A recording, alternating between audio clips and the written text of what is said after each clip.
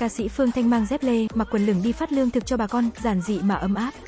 Hình ảnh ca sĩ Phương Thanh sông pha cứu trợ người dân trong mùa dịch nhận được nhiều lời khen ngợi từ dân mạng. Suốt gần 2 tháng qua, giọng ca dã từ dĩ vãng hết đồng hành cùng y bác sĩ tuyến đầu hỗ trợ xét nghiệm Covid-19. Nữ ca sĩ còn hăng hái đi tiếp tế lương thực cho bà con. Trên trang Facebook cá nhân, ca sĩ Phương Thanh thường xuyên cập nhật công việc làm thiện nguyện của mình. Giọng ca tình cờ mặc giản dị, quần lửng, dép lê sông sáo đi phát quà cho bà con.